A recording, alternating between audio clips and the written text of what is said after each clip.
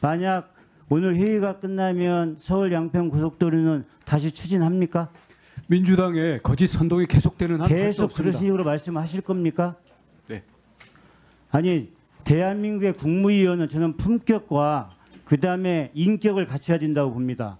장관님의 태도는 모든 모든 국회의원, 모든 정당의 어떤 문제점 지적과 의혹 제기를 지금처럼 폄하하고 국회를 우롱하고 무시하는 데서 출발하기 때문에 장관님이 답변을 할수록 의혹은 훨씬 커질 겁니다. 자, 장관님 보세요. 아까 뭐라고 말씀하셨습니까? 말씀드리겠습니다. 장관님 아까 뭐라고 말씀하셨습니까?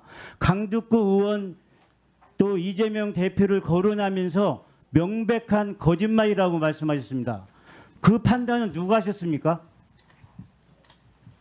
제가 하기 때문에 왜냐하면 왜그 장관이 주장은 그런 판단할 자, 지위에 있습니까? 의원님 전혀 그렇지 않습니다. 저는 지금 장관님, 저는 그리고 의혹의 당사자입니다. 장관님, 의원님 장관님 그리고 아까 답변하실 때 이해찬, 이재명 하면서 마치 동네 아이들 이름 부르듯이 네, 답변했습니다. 존칭 뺀 거는 제가 죄송합니다. 이 그렇게? 시정하겠습니다. 지금까지 자. 국회를 상대로 장관님처럼 답변하시는 분은 저는 국회에서 30년 근무했는데 처음입니다.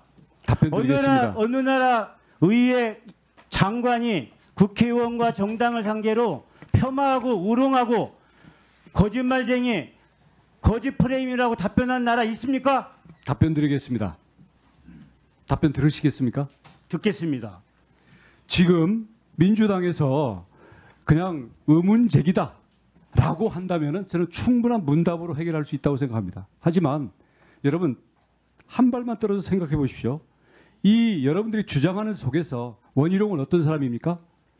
지금 대통령 일가에 불법적인 특혜를 주기 위해서 멀리 떨어져 있는 고속도로를 이 전문 엔지니어링 용업업체의 기술자들과 우리 부하 직원들을 모두 압력을 넣어서 문서를 다 허위로 만들어서 지금 불법 행위를 한 장관으로 지금 규정해 놓고 몰고 가고 계시지 않습니까? 아닙니다, 장관님. 혹시 국회의원들이 또 일반 시민이 그렇게 장관님을 프레임을 씌운다 하더라도 지금 장관님은 대통령 처가 장관님이 이렇게 자, 답변해야 됩니다. 대통령 처가 장관님, 고속도로 장관님, 게이트. 장관님, 그 들으십시오. 손가락질 좀 그만하세요. 아니 고속도로 게이트 그 이거 장관님 뭡니까? 들으십시오.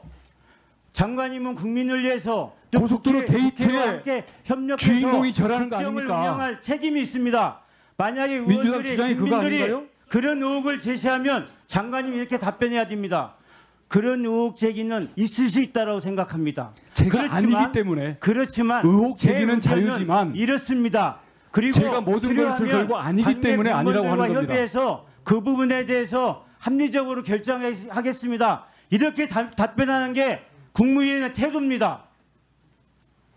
저 김두관 의원님께서 처음 질의했을 때는 저는 그런 생각도 했습니다.